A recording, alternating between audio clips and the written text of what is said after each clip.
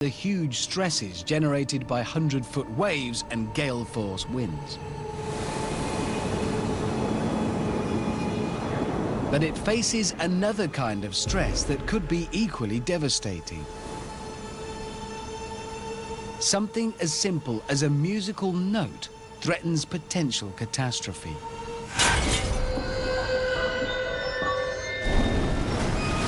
It all starts with every structural engineer's nightmare. The collapse of the mighty Tacoma Narrows Bridge in the USA. Four months after it opened, stunned onlookers saw the rigid steel and concrete twisting like rubber. As the edges rose and fell up to 28 feet, a confident project engineer strode onto the bridge believing it was still safe. But the twisting got more and more violent. Remarkably, the structure survived the extreme stresses for almost an hour before they became overwhelming.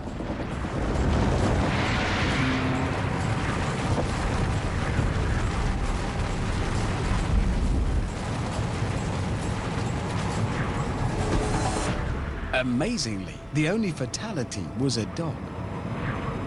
The problem was caused by a phenomenon called resonance. The Troll A's engineers faced an equally dangerous threat. When it's subjected to the wrong kind of stresses, even super strong concrete can fall apart. And because it's located out here, in the hostile North Sea, the Trollhätte platform is vulnerable to a particular kind of stress that's repeated over and over again. Waves. Over 70 years, the platform could be hit by more than 180 million waves. I've done the math. But it's not the size of the waves that could spell disaster. It's their rhythm.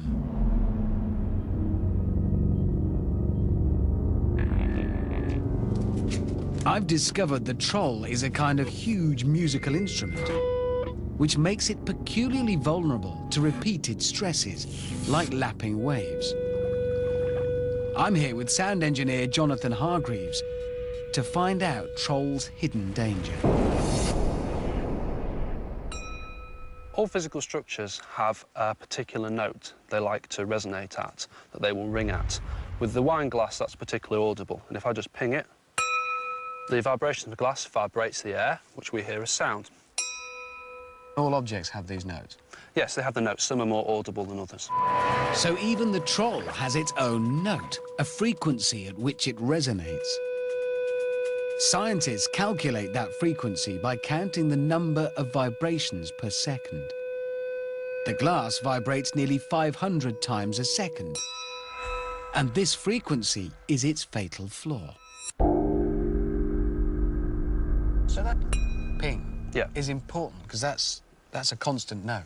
Yeah, it's a physical property of the actual object. How does that help us with breaking it?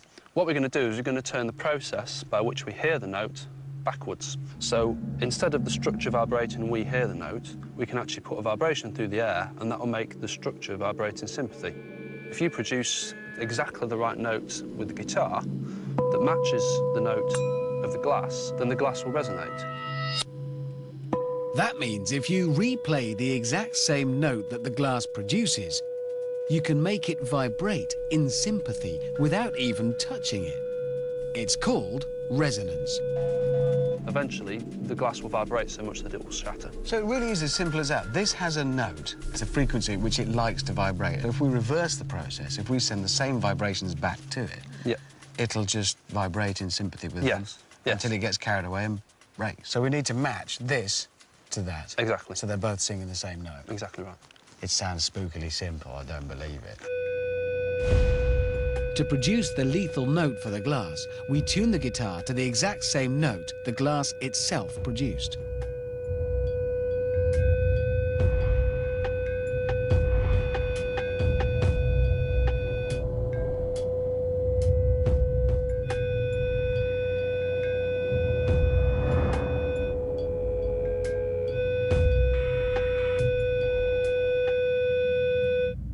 slow motion footage shows the glass wobbling like jello until it can take the resonance no longer.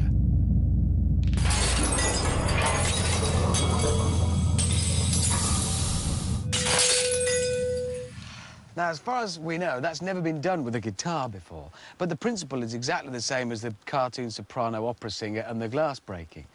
The point now is, what's the connection between that and Troll A? If Jonathan is right, resonance could be a lethal threat even to a structure as big as Troll.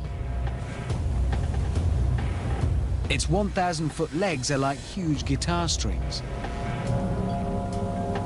Certain sequences of waves could set them vibrating along their entire length. And just like a glass, if they resonate too much at a critical frequency, they could be shaken to bits. More than half a century after the collapse of the Tacoma Bridge, Troll's engineers took the problem very seriously. I heard it from the boss himself, Jan Hooger.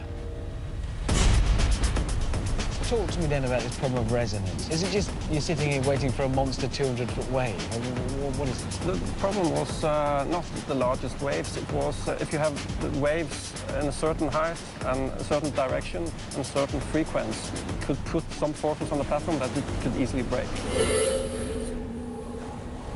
It's like a swing. If you have the right period uh, and the right force and the right frequency, you can make it swing and vibrate. It isn't the biggest waves then, it's, it's the timing, the interval, the the frequency. yes, that's right. How bad could it be? How big a problem is it? In worst case, it could collapse uh, the whole construction. That would send the $16 billion Troll A to the bottom of the sea. The engineers learned their lesson from the Tacoma Bridge. Troll's engineers had to stop the structure from resonating at the critical frequency generated by a sequence of waves. Back in the music studio, Jonathan shows me how to take the resonant frequency out of the danger zone. So this principle of changing the frequency is pretty easy to understand, because if you play a note on a guitar, that's a string, and then on the same string, if you put your finger on it, it changes the note. Yes, what you've done is you've changed the length of the string that's vibrating. And by doing that, you've changed what note it wants to resonate at. And instead of hearing a low tone, we hear a high tone. So you've changed the frequency. Yeah.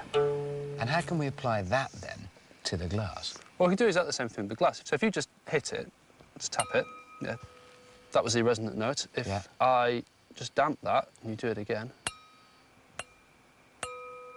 It's changed it completely. Can we see if it will actually stop it breaking? So if we set it up exactly as we did it before, if I play the note of the glass on the guitar, it's worth a go. it's worth a shot.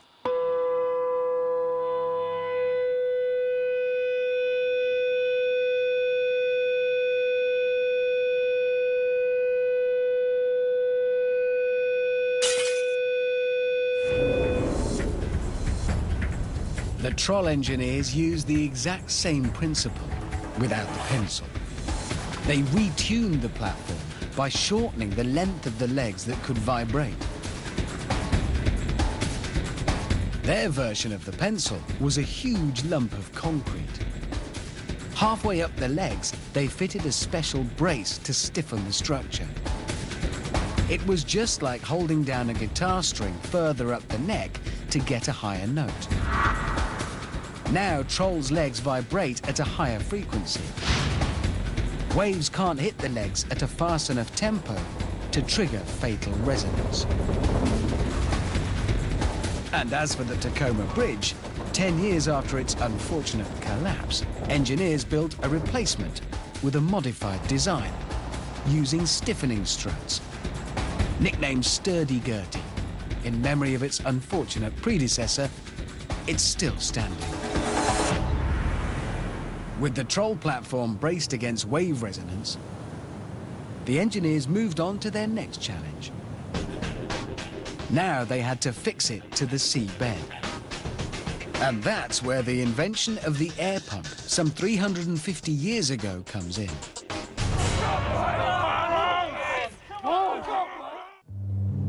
The Troll gas platform is one of the tallest structures on the planet, rising over 1,500 feet. Engineers